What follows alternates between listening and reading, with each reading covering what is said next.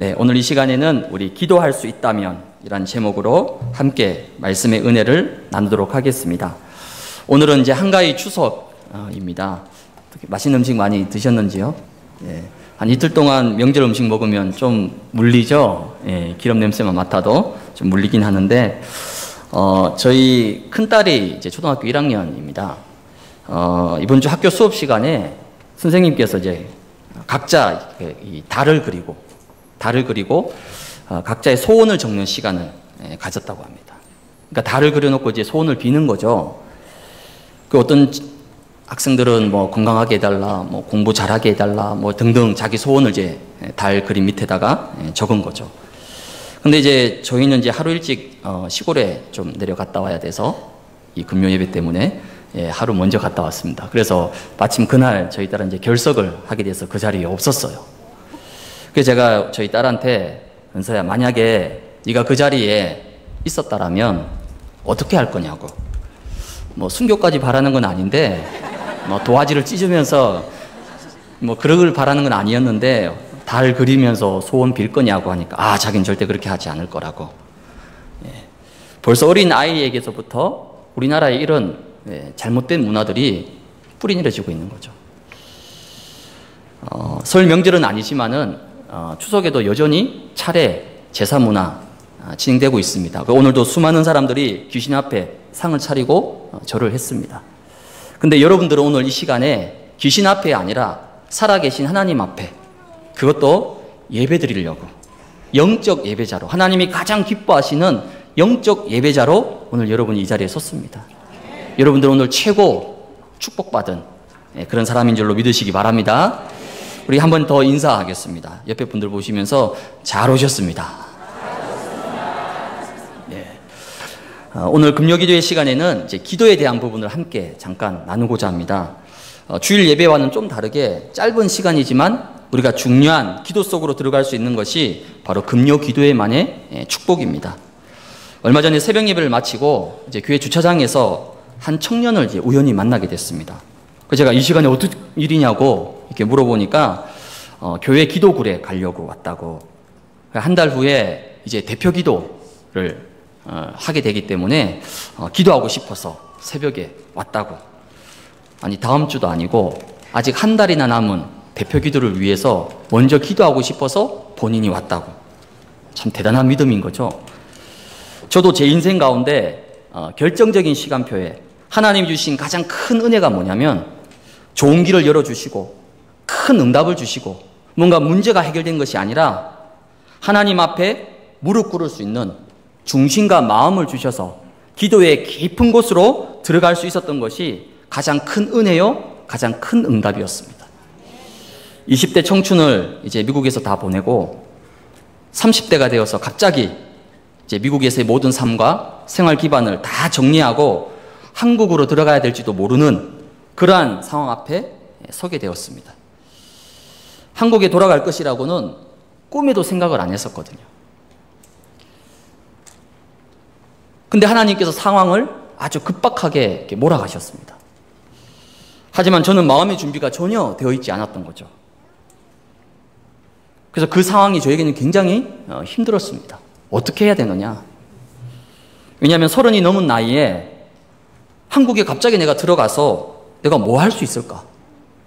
아니 뭐 20대 초반이면 뭐라도 하겠는데 30이 넘어가지고 이 나이에 한국 들어가서 내가 과연 뭘 할 수 있을까? 내가 한국에 가면 누가 날 받아주고 어디서 날 받아주겠는가? 이런 생각으로 가득 차게 됐습니다. 사실 저는 결혼도 아마 못할 거라고 포기하고 어, 난 결혼 못할 것이다. 확신으로 가지고 어, 살았었습니다. 근데 은혜죠. 저희 집사람이 이제 저를 이렇게 받아주고 어, 구원해 주었습니다. 그래서 그리스도 다음으로 제가 참 감사하게 생각하고 있는 이런 중요한 어, 인생의 기로에서 어쩌면 20대 한국을 떠나 미국으로 갈 때보다 더 간절하고 더 갈급하고 더 절박한 상황이었습니다. 그때 하나님께서 저에게 은혜 주셔서 매일 어, 새벽 재단을 쌓으면서 하나님 앞에 질문하고 기도했는데 그때부터 하나님이 매 주일마다 예배 속에서 강단 속에서 말씀으로 답을 조금씩 주시고 방향을 주셨습니다. 그렇게 3개월을 인도받고 나니까 제 마음에 딱 확신이 들었습니다. 그래서 결단하고 한국으로 들어오게 됐고 또 RTS로 인도받게 됐고 다른 한 군데 다락방 교회에서 교육자로 사역을 하다가 아, 예원으로 인도를 받아서 지금까지 오게 되었습니다. 오늘 금요 예배 제목이 기도할 수 있다면입니다. 어떤 상황과 문제 속에서도 여러분들이 기도할 수 있다면 아무 걱정할 필요가 없습니다.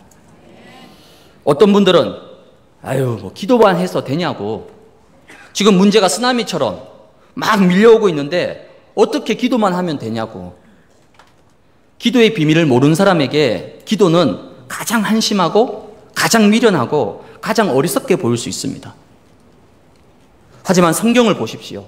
성경은 기도 응답에 대한 약속과 그 증거들로 가득 차 있습니다. 다니엘이 사자굴에 들어갈 수밖에 없는 그런 위기를 앞두고 다니엘 6장 10절에 보니까 평소에 하던 대로 하나님 앞에 기도했습니다. 바벨론의 정치인들이 봤을 때는 너무나 어리석고 너무나 바보 같고 너무나 무능해 보였겠죠. 근데 다니엘이 어떻게 되었습니까? 그리고 다니엘을 죽이려고 모함했던 그 바벨론 정치인들 어떻게 되었습니까? 열왕기하 19장 20장에 보게 되면 다윗 다음으로 하나님 앞에 성왕이라고 아주 칭찬받았던 히스기야 왕에게 인생 최고의 최대의 위기가 찾아왔습니다. 아수르의 침략으로 말미암아 나라는 절대 절명 속에 풍정등화처럼 위태위태한 상황에 몰리게 되었습니다. 그리고 설상가상으로 자신에게는 심각한 질병으로 말미암아 사형 선고가 떨어졌습니다. 죽음을 눈앞에 두게 된 거죠. 이때 열왕기하 20장 2절에 보면 히스기야가 낯을 벽으로 향하고 여호와께 기도하여 이르되 이걸 보고 우리가 흔히 벽면 기도라고 합니다. 왜 낯을 벽으로 향했을까요? 얼굴을 벽으로 향했다는 것은 모든 불신앙과 인간적인 생각과 방법을 다 내려놓고 오직 하나님만 바라보겠다는 믿음의 자세입니다. 문제 사건을 만나면 왜 우리는 기도의 자리로 나아가지 못할까요? 기도의 자리로 나아가지 못하게 하는 내 안에 있는 모든 불신앙과 인본주의, 인간적인 방법과 기준, 생각의 틀을 오늘 이 밤에 과감히 깨뜨리시기 바랍니다. 희망 고문이란 말을 아마 많이 들어보셨을 겁니다. 이렇게 하면 좀 될 것 같은데, 에이, 그래도 내가 복음 가졌는데, 내 하나님 자녀인데 설마 망하겠냐? 망하지는 않겠지. 이러면서 안 망하려고 계속 버텨나가는 겁니다. 사실은 망해야 될 시간표거든요, 지금. 지금 완전히 무너져야 될 시간표입니다. 근데 자기 방법으로, 자기 노력으로 끝까지 버티는 거죠. 안 망하려고. 그때 필요한 것은 완전 절망입니다. 완전 절망을 해야지 복음 안에서 새로운 희망과 새로운 시작을 할 수 있습니다. 오늘 밤에 최악의 상황과 현실 앞에서 얼굴을 벽으로 향하고 여호와께 구했던 히스기야처럼 사자구를 앞에 두고 하나님 앞에 오직으로 섰던 다니엘처럼 중요한 기도를 회복하는 그러한 응답의 밤이 되시기를 주님의 이름으로 축복을 드립니다. 첫 번째는 성령 안에서 기도입니다. 오늘 읽었던 에베소서 6장 18절에 보면 모든 기도와 강구를 하되 모든 기도와 강구를 한다. 이 말은 무조건 기도부터 하자. 그냥 닥친 대로 우리가 기도하자. 이 말이 아닙니다. 기도하기 전에 먼저 회복해야 될 중요한 것이 있습니다. 기도는 모든 종교에서 다 합니다. 근데 우리의 기도와 타 종교의 기도가 도대체 뭐가 다릅니까? 근본이 다릅니다. 본질이 다릅니다. 성령 안에서 기도한다는 것은 바로 언약적 신분을 누리는 것을 말합니다. 기도보다 중요한 것은 신분입니다. 물론 불신자도 기도하면 응답받고 역사 일어납니다.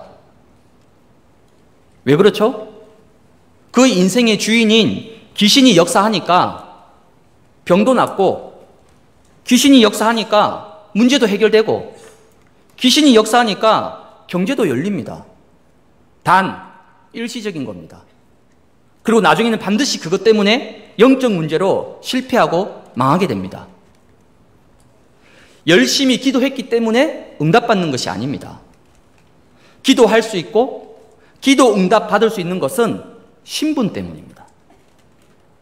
로마서 8장 15절에는 너희는 다시 무서워하는 종의 영을 받지 아니하고 양자의 영을 받았으므로 우리가 아빠 아버지라고 부르짖느니라. 하나님을 감히 우리가 아빠 아버지라 부르짖는 신분입니다. 갈라디아서 4장 6절에는 너희가 아들이므로 하나님이 그 아들의 영을 우리 마음 가운데 보내사 아빠 아버지라고 부르게 하셨느니라. 예수 그리스도 이름으로 기도할 때 왜 성령이 역사하십니까? 그리스도 이름으로 기도할 때 왜 하늘 군대가 동원되고 왜 흑암의 세력이 무너지고 꺾이게 되는 겁니까? 우리가 대단하기 때문에 우리가 훈련을 많이 받았기 때문에 우리가 능력이 있기 때문에 아닙니다. 그리스도를 나의 주인으로 나의 구원자로 모셔드린 하나님 자녀된 신분 때문입니다. 기도 이전에 내가 누구인지 내게 주신 신분과 권세를 먼저 알고 누리는 것이 참된 기도의 시작인 줄로 믿으시기 바랍니다. 성령 안에서 기도하는 것 두 번째는 언약적 기도를 회복하는 것입니다. 양평에 가보면 경기도를 대표하는 아주 유명한 절이 하나 있습니다. 용문사라고 합니다. 제가 아주 몇 년 전에 우리 대학생들하고 같이 캠프하러 그곳에 간 적이 있습니다. 그 산 중턱에 있었습니다. 한 4, 50분을 걸어서 가야 되는데 그 절이 왜 유명하냐? 그 절 앞에 무려 1400년 된 은행나무가 있습니다. 얼마나 크고 대단한지. 그러니까 제가 봐도 막 그 나무에서 뭔가 신비한 능력이 막 나올 것 같은 140년도 아니고 1004, 그러니까 우리나라에서 가장 오래된 은행나무입니다. 그게 딱 버티고 있으니까 그게 마치 불도들한테는 성지입니다, 성지. 그러니까 저희가 간 날에 대구에서 관광버스 10대가 와서 그 불교 신자들이 그거 구경하려고. 대단하죠? 또 영종도에 가보면 제가 지역 캠프하러 영종도에 간 적이 있는데 거기에 가장 유명한 용궁사라는 절이 있습니다. 이 절은 무려 1300년 됐습니다. 신라 시대 원효 대사가 참 신기하죠. 지금은 영종대교가 있잖아요. 그땐 다리도 없습니다. 그 나룻배를 타고 그 먼 영종도까지 건너와 가지고 절을 세웠어요. 원효 대사가. 그게 용궁사입니다. 그 절은 왜 유명하냐? 그 절 앞에, 정문 앞에 천 년이 넘은 느티나무가 딱 버티고 있습니다. 거기 가보면 천장에 수천 장의 종이가 붙어져 있습니다. 그 대웅전 앞에 큰 마당에 수, 만 장의 기와장이 놓여져 있습니다. 거기 뭐가 있냐? 심중소원이라고. 그 불신자는 심중소원이라고 부릅니다. 그러니까 소원, 우리말하면 기도 제목 적어 놓은 그 종이와 기와장이 수천 장이 넘습니다. 그걸 제가 쭉 한 30분간 다 훑어봤습니다. 그 수천 장의 기와장과 종이, 그 기도 제목, 그 심중 소원을 딱 요약하면 세 가지로 나옵니다. 첫째 뭐냐? 장수무병. 둘째, 사업 번창. 셋째, 자녀 잘 되게 해달라고. 그러면 오늘 이 밤에 여러분의 기도 제목은 어떻습니까? 그럼 장수무병, 사업 번창, 자녀 잘 되는 거, 그 나쁜 겁니까? 아니죠. 나쁘단 말이 아닙니다. 근데 그게 전부 다라면, 그게 모든 것이라면, 그게 오직이라면, 어떻게 되겠습니까? 대부분 자기 중심적 기도 제목들을 다 가지고 있습니다. 그러니까 모든 기도 제목에 오직 나예요, 나. 내 기분, 내 감정, 내 상황, 내 형편, 내가 힘들고, 내가 어렵고, 지금 내가 슬프고, 내가 잘 안 되고. 아니면요, 주로 물질 중심적 기도. 다 돈이죠. 아니면요, 뭔가 내 야망, 내 동기, 내 목적을 이루고자 하는 성공 중심적인 기도 제목. 겉으로는 복음을 위해서, 겉으로는 세계 복음화를 위해서, 겉으로는 하나님의 영광을 위해서라고 얘기하지만 실제 그 속에는요, 내 야망, 내 동기, 내 목적, 내 성공. 이러한 잘못된 기도 제목의 틀에 갇혀 있는 겁니다. 마태복음 6장 33절에는 너희는 먼저 그의 나라와 그의 의를 구하라. 뭘 구하라고 얘기합니까? 무엇을 입을까? 무엇을 먹을까? 마태복음 6장에 는 너희의 머리털까지도 다 쓰신 바 된다. 하늘에 계신 너희 아버지가 이 모든 것이 너희에게 있어야 될 줄을 다 알고 있다라고까지 말하는데 언약 성취를 위해서 세계 복음화를 위해서 언약적 기도의 제목과 내용을 오늘 이 밤에 회복하시기 바랍니다. 성령 안에서 기도한다는 것은 세 번째 언약적 24속으로 들어가는 것입니다. 오늘 18절에 보니까 이를 위하여 깨어 구하기를 항상 힘쓰라. 항상 힘쓰라. 기도의 수준이라고 하면 좀 그렇지만은 기도의 최고의 영적 수준, 기도의 최고의 마지막 단계가 뭐냐면 24입니다. 24는 아예 기도 제목이 없습니다. 종교는 기도 제목이 엄청 많아요. 그 용궁사 양, 그 양평에 있는 용문사 가면요. 그 기와장 만 원 주고 삽니다. 만 원 주고 그 기와장을 사가지고 거기에 심중소원 적어가지고 거기다 딱 바치는 거죠. 그런 기와장이 수만 장 쌓여 있습니다. 종교는 기도 제목이 너무 많아요. 왜? 자기의 소원, 자기가 하고 싶은 거, 자기가 이루고 싶은 거, 자기가 받고 싶은 거 너무 많은 거죠. 그 모든 중심에는 뭐가 있습니까? 하나님이 아니라 나.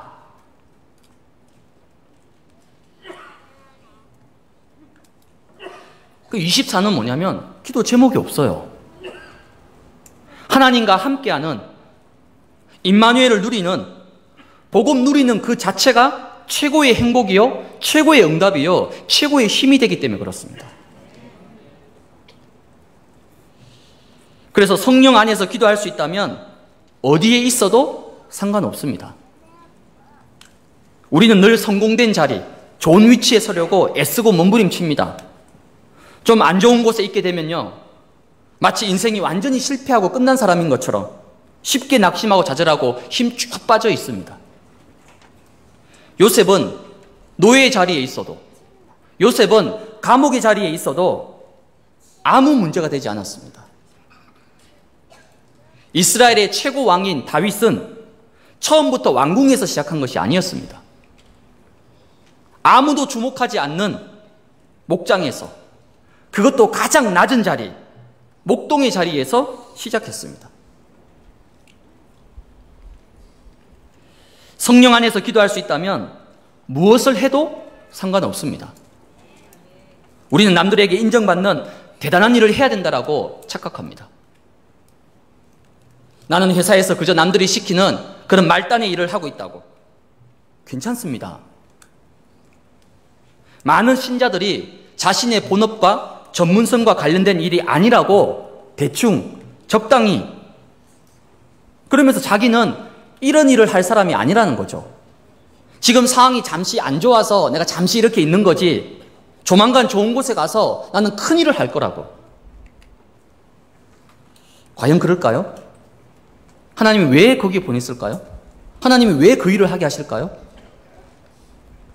하나님의 눈이 틀린 겁니까? 하나님이 사람을 잘못 보신 겁니까? 성령 안에서 기도할 수 있다라면 누구와 있어도 상관없습니다. 도와준 사람이 없습니까? 여러분이 혼자서 외롭게 영적 싸움을 처절하게 싸우고 있습니까? 오늘이 즐거운 한가위 명절입니다. 어떤 분들에게는 너무나 즐겁고 기쁘고 신나고 하지만 어떤 분들에게는요 매년 이맘때만 되면 처절하게 영적 싸움을 싸워야 되는 분들도 많이 계십니다. 그것도 혼자서 외롭게 아니면 나를 괴롭고 힘, 괴롭히고 힘들게 하는 사람이 있습니까? 아니면 나를 피눈물 쏟게 만드는 그러한 상처를 주는 사람이 있습니까? 괜찮습니다. 여러분이 성령 안에서 기도할 수 있다라면 괜찮아요. 그 누구와 있어도 아무 문제 되지 않습니다. 흔히 우리 지역에는 사역자가 없다라고. 우리 지역에는 일꾼이 없다고. 정말 사역자와 일꾼이 없는 걸까요? 기도할 수 있다면 그 어떤 nobody의 현장이라 할지라도 괜찮습니다. 기도할 수만 있다라면 사망의 음침한 골짜기를 다닐지라도 전혀 해를 두려워하지 필요가 없습니다. 정말 기도할 수 있다라면 원수의 목전 앞에서 내게 상을 차려주시는 그러한 일들이 벌어지게 될 것입니다. 지난 WRC를 앞두고 어, Remnant 리더 수련회 때 저희 가정이 이제 홈스테이를 신청하게 됐습니다. 왜냐하면 저희 자녀들에게 237 나라 보고마의 언약을 심어주고 좀 237 나라 그 말로만 듣는 게 아니고 그 현장을 직접 좀 보여주고 싶어서 홈스테이 이제 신청서를 쓰면서 거기다가 신청서 밑에 희망사항이 있더라고요. 거기다가 영어권, 다민족, 랩먼트를 원한다라고 아주 굵은 글씨로 잘 보이게끔 이러한 영어권 다민족 Remnant 보내달라고. 그거로 좀 부족하다 싶어서 제가 인본주의를 써가지고요.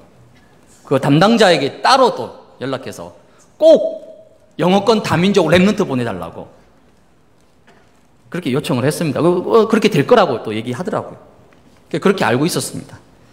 드디어 Remnant 리더 수련회 전날 각 가정에 이제 문자가 발송되잖아. 누가 올 거라고. 그 저희 가정에 두 명의 Remnant가 배정됐습니다. 한 명은 우리 하마마츠 예원교회 일본 Remnant죠. 그 한 명이 이제 배정됐습니다. 그 나머지 한 명은 누구냐? 함양에 있는 Remnant 지도자 학교를 다니는 완전 토종 18년 동안 오직 한국에서만 자란 오직 한국 음식 먹으면서 한국말만 할 줄 아는 순수한 한국 랩런트를 보내주셨습니다. 문제는 이 지도자 학교 랩런트가 실은 귀신에게 빙이 들려 있는 렘트였습니다. 스테이 며칠 전부터 학교로부터 그 지도자 학교로부터 사역자로부터 부모님으로부터 문자와 연락이 왔어요. 계속 이 아이가 어떤 상태인지 스테이 할 때 뭘 조심해야 되는지 어떤 걸 피해야 되는지 심지어 소리도 예민하기 때문에 이런 소리는 피해야 된다는 거예요. 그러니까 심지어 귀신에게 완전히 빙의 됐을 때 그 상태를 동영상으로 찍은 것까지 보내주셨어요. 미리 알고 있으라고. 귀신에 빙의 됐다는 것은 귀신 목소리를 내는 거예요. 심지어 자기 의식은 분명히 있는데 몸과 마음과 생각이 완전히 귀신에게 장악돼서 귀신이 시키는 대로 귀신 목소리를 계속 내는 거예요. 그래서 귀신한테 자기 몸을 빌려주는 거죠. 장악을 당하는 거죠. 그거를 오래 전부터 그렇게 시달려 왔습니다. 그래서 모르는 장소, 낯선 사람들이 많이 모이는 그런 대중 장소에는 갈 수가 없는 거예요. 왜? 언제 어떻게 튀어나올지 모르기 때문에. 저도 지교회 캠프 하면서 아까 말씀드렸던 용문사, 용궁사, 그러니까 지역에서 좀 세다는 절간, 점집, 내리, 굿받은 그 점집 이런 데 가서 캠프하고 다 했습니다. 근데 워낙 여러 군데서 동시다발적으로 막 이런 얘기가 나오니까 나도 모르게 마음이 살짝 흔들리는 거예요. 근데 그 주간 강단 말씀이 뭐였냐면요. 로마서 9장 6절에서 13절. 하나님의 절대 주권. 드디어 첫날 이제 교회 와가지고 Remnant를 이제 픽업해야 되는 거죠.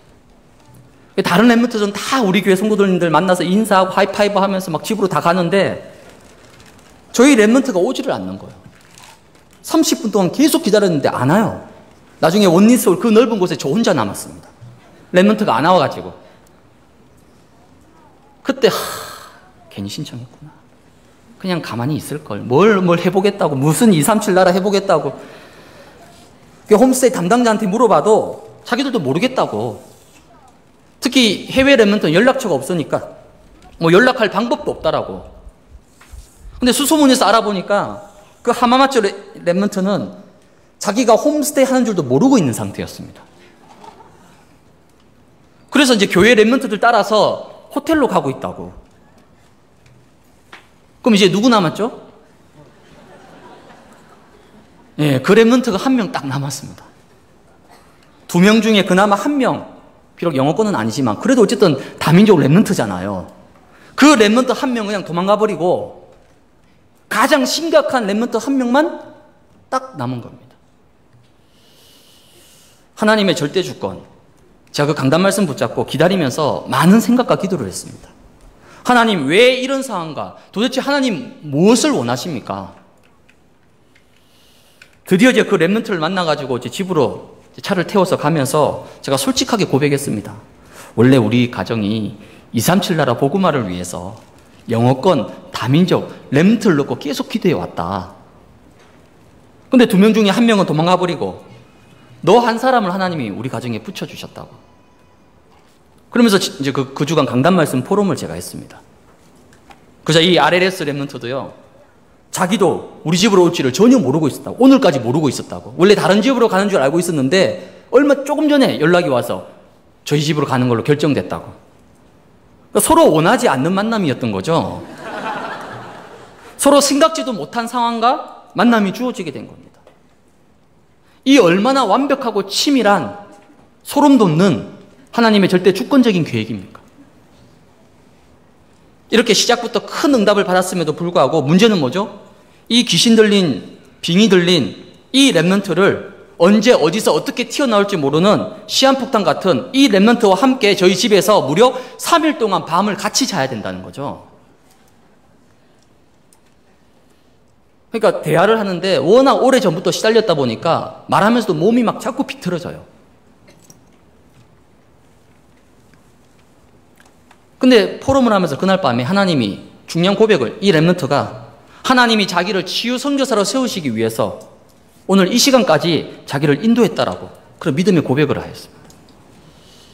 첫날 밤에 다 같이 포럼을 마치고 이제 랩런트는 잠자리에 들고 저하고 저희 집사람이 이제 침대에 누웠는데 잠이 오지를 않았습니다.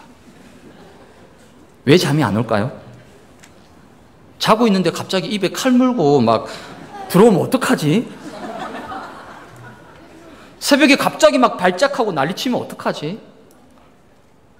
아무리 눈을 감고 잠을 청해도 잠이 오지가 않는 거예요. 잠이 안 와요.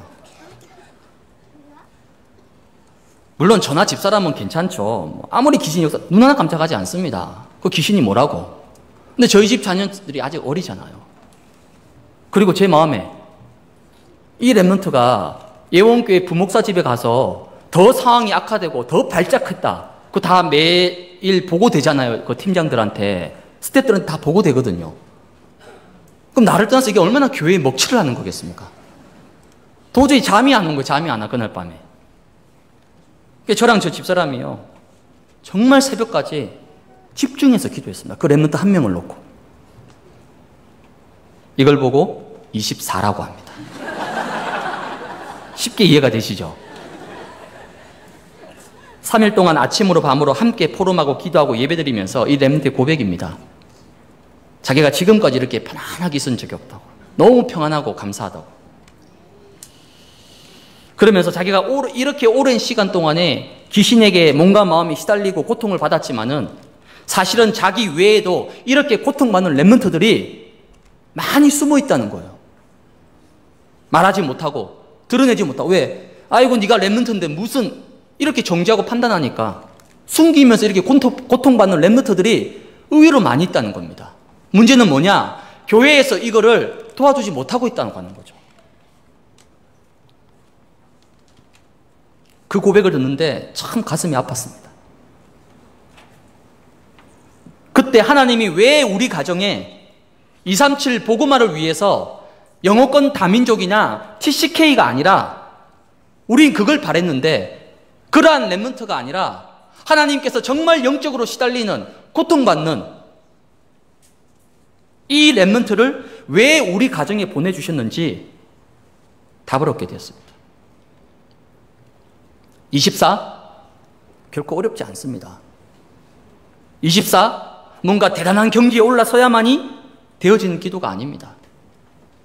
하나님의 소원과 언약적 한을 품을 수밖에 없는 정말 현장을 본다라면, 정말 현장을 체험한다라면, 24, 하나님이 품게 하시고, 하나님이 기도하게 하실 것입니다. 오늘부터 성령 안에서 언약적 24를 회복하는 축복의 밤이 되시기를 주님의 이름으로 축복을 드립니다. 두 번째는 전도자의 기도입니다. 사도 바울은 지금 로마 감옥에 수감되어 있습니다. 감옥에 있는 사람에게 얼마나 많은 것이 필요하고 얼마나 또 많은 고민과 갈등과 어려움이 있겠습니까? 근데 바울은 모든 것을 다 거두절미하고 딱 한 가지 가장 중요한 기도 제목을 말합니다. 에베소서 6장 19절에 보시면 또 나를 위하여 구할 것은 내게 말씀을 주사 나로 입을 열어 복음의 비밀을 담대히 알리게 하옵소서 할 것이니. 바울은 로마 시민권자이기 때문에 일반 죄수들처럼 지하 감옥에 갇혀서 손발이 꽁꽁 묶여 있는 그런 상태는 아닙니다.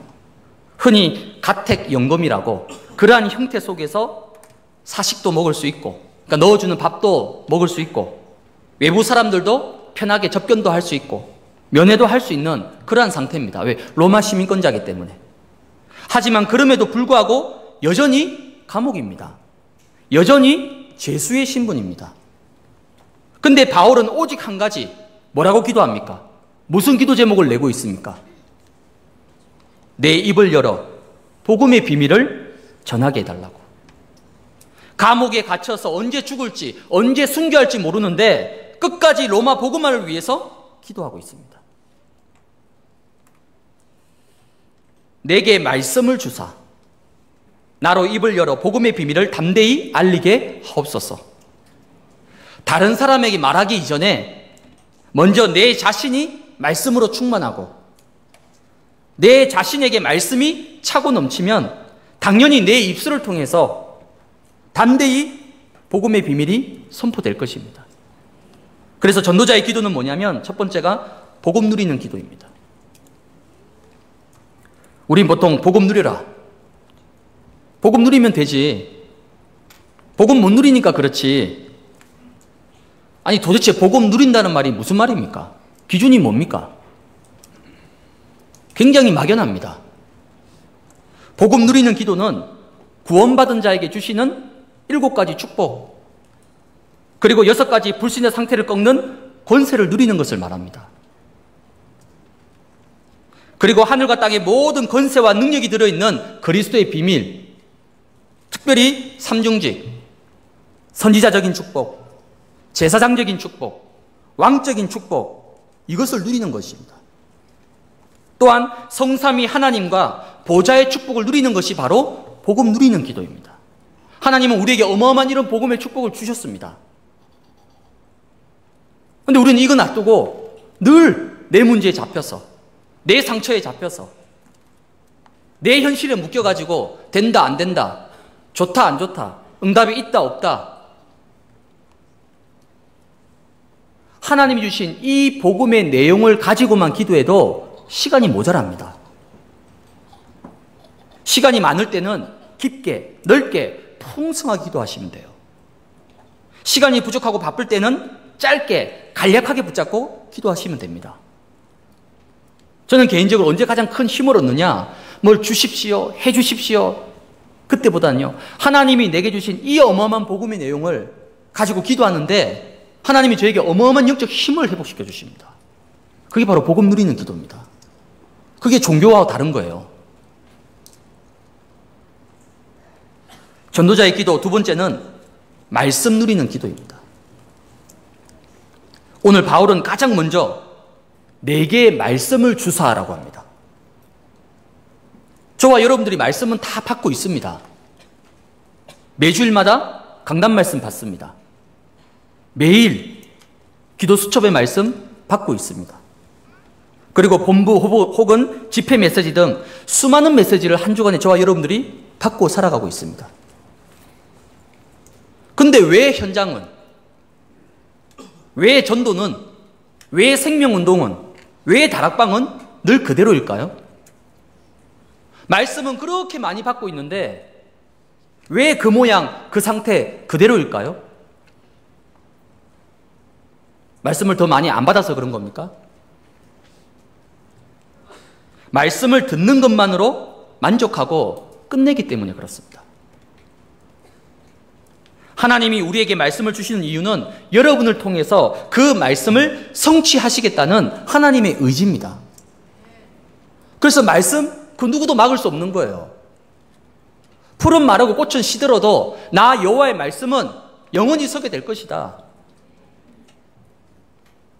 그렇다면 우리는 받은 말씀을 제대로 각인, 뿌리, 체질시켜서 말씀 붙잡고 기도해야 되는 것입니다.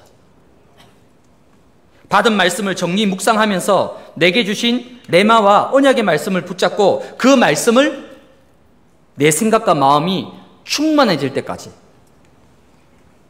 그래서 시편 105편 19절에 보면 곧 여호와의 말씀이 응할 때까지라. 언제까지요? 말씀이 응할 때까지. 이것을 보고 말씀 누리는 기도라고 합니다. 지난 8월 달에 여름 휴가 제 여러분 다 다녀오셨죠? 저희 저희 교육자들도 다 휴가 제 다녀왔습니다. 이제 주일날 이제 휴가를 떠나야 되는데 그 주간에 강단 말씀이 뭐였냐면 아름다운 전도자의 삶이었습니다. 로마서 10장. 한 주간 공식적으로 정말 맘 편히 쉴 수 있는 게 바로 휴가입니다. 그렇죠? 여름 휴가. 근데 그 강단 말씀 내용이 이제 여러분 다 아시는 것처럼 아름다운 소식을 전하는 자의 발이다. 거기까지는 괜찮은데 이대지가 뭐였죠? 끝까지 끝까지 전하는 아름다움이라고. 하, 나 휴가인데. 나 휴가 가야 되는데. 물론 말씀에 저도 은혜 받았습니다. 근데 이제 오늘부터 휴가니까 아무도 좀 말씀에 대한 이 간절함이 평상시보다는 약하죠. 왜? 뭐, 지금 뭐, 온통 마음과 생각이 휴가니까. 이제 가벼운 마음으로 이제 빨리 이제 정리하고 사역을 마치고 이제 주일날 교회를 나서려고 하는데 교회에서 연락이 왔어요. 여러분, 교회에서 연락이 오는 건 딱 두 가지입니다. 여러분, 교회에서 연락 오면 어떻습니까? 일단 뭔가 좀, 그죠? 왜냐? 좋은 소식으로는 연락 잘 안 옵니다. 주로 연락이 오는 건 뭐죠? 이제 안 좋은 이제 뭐 그런 소식들인 거죠. 아니나 다를까 장례가 터졌습니다. 그것도 조문입니다. 그것도 강원도 가야 돼요. 삼박자가 딱 맞아 떨어진 거죠. 그 순간 막 수많은 생각과 수많은 경우의 수가 막 떠오르는 거예요. 이걸 어떻게 해야 되느냐. 내일 장례 터졌으니까 월요일 날 장례 터졌으면 실은 안 해도 되는데 왜냐하면 우리 이제 다른 부목사님들이 하시기로 다 시스템이 돼 있거든요. 근데 하필 교회를 나서는 이 순간에 그 이제 가족들은 먼저 휴가 떠나고 저 혼자 이제 차 운전해서 강원도까지 이제 가는 겁니다. 그 긴 시간 동안에 진짜 강단 말씀. 억지로가 아니라 하나님이 그 가정과 그 가문에 얼마나 급했으면 아름다운 소식을 전하는 자의 발걸음으로 나를 보내시는 거구나. 그러면서 끝까지, 끝까지.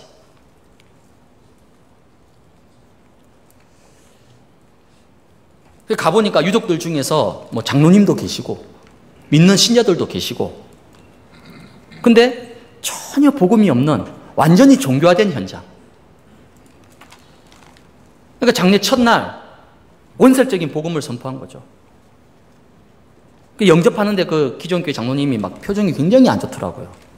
내가 장로인데 어디서 젊은 목사가 와가지고 자기를 영접시킨다고 막 얼굴에 써져 있더라고 기분 나쁘다고.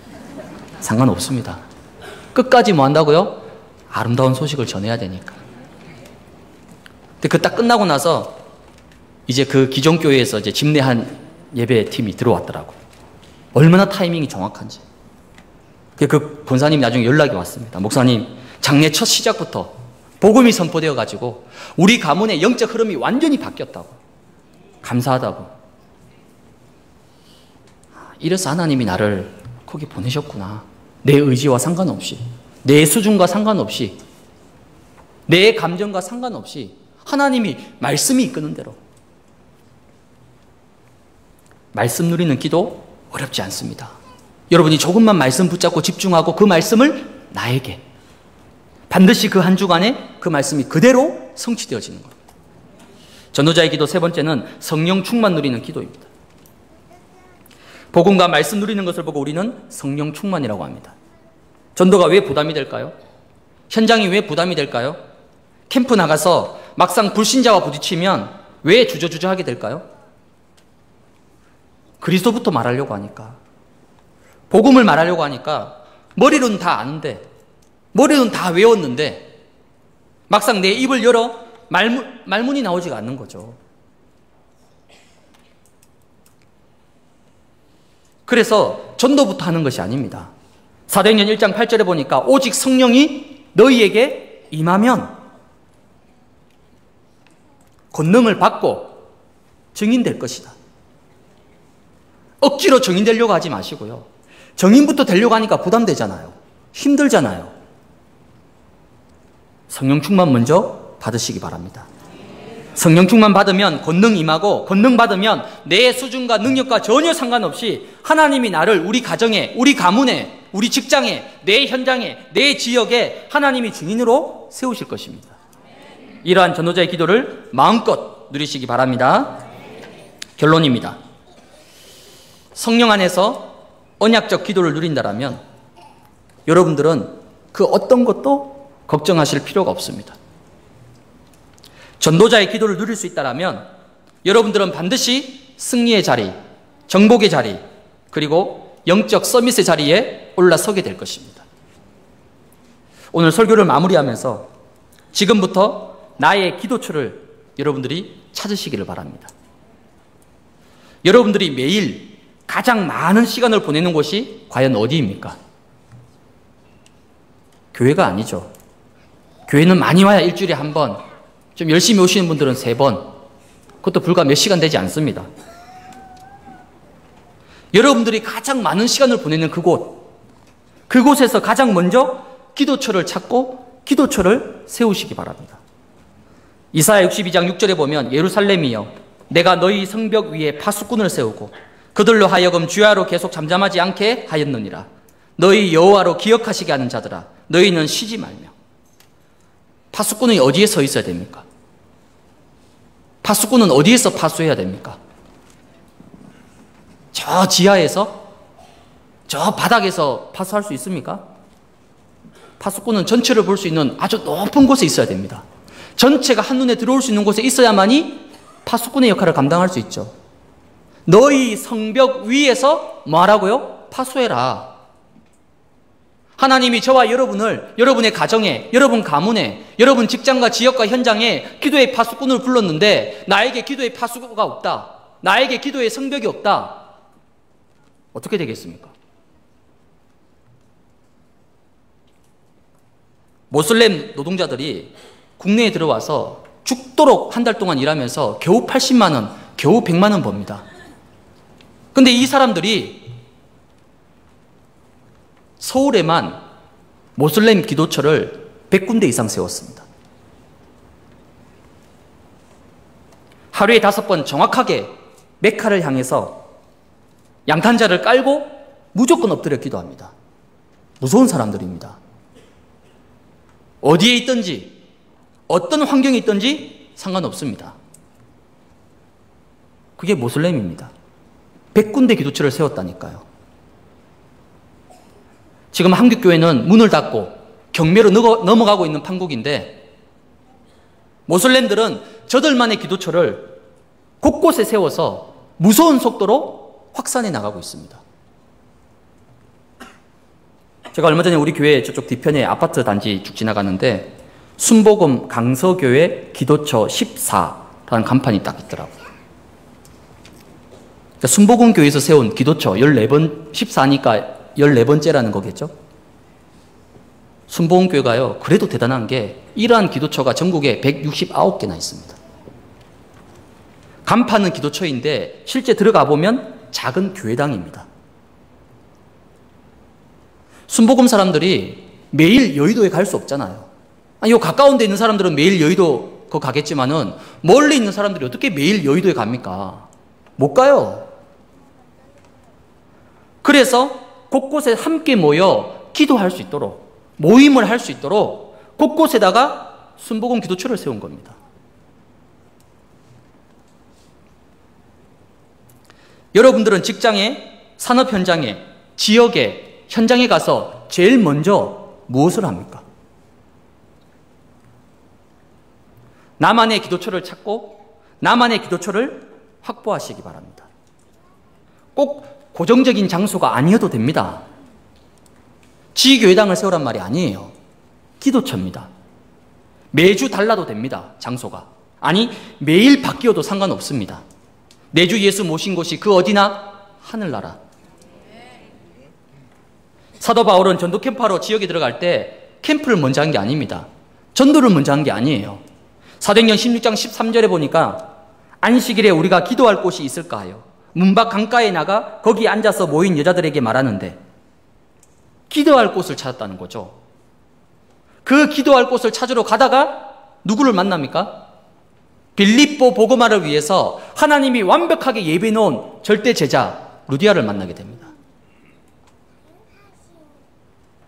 여러분들은 매일 매주 중요한 현장에 세상에 나가면서 아무런 영적 시스템 없이 그냥 일하러, 그냥 출근하러, 그냥 돈 벌러, 그냥 사람 만나러 그렇게 간다.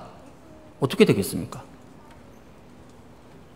만약에 방사능이 누출된 지역에 여러분들이 아무런 보호 장비도 없이 그냥 맨몸으로 들어간다. 무슨 말이죠? 그 자살 행위입니다. 죽겠다는 거죠. 그와 똑같은 겁니다, 여러분. 여러분이 있는 세상과 현장? 결코 만만한 현장이 아닙니다. 사단이 세상 임금, 세상 임금이 돼가지고 정사와 권세를 마음대로 휘두르고 있는 그러한 창세기 3장의 현장입니다. 그러한 곳에서 일하면서 일이 힘들다. 공부가 어렵다. 세상 살기 힘들다. 당연하죠. 그게 정상입니다. 그래서 우리에게 뭘 주셨습니까? 성령의 능력을 주신 거죠. 그래서 우리에게 복음의 능력을 주신 겁니다. 그래서 우리에게 전도자의 권세를 주신 거예요. 그래서 너희는 가서 가기 전에 뭘 주셨습니까? 마태복음 28장 19절에 보니까 하늘과 땅의 모든 권세를 이미 너희에게 주었다. 그러므로 너희는 가라 얘기하는 거죠.